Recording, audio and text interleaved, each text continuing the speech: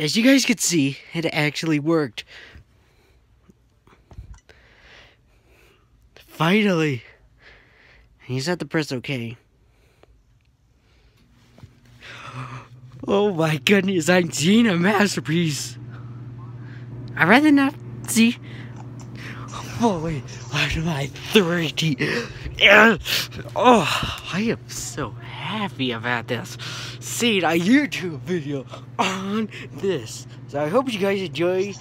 As soon like the first video, it got, you know, well, well, I accidentally didn't press OK, but still, this is a revolution for me. Yes, I will show this. So shout out to Gatorade 66.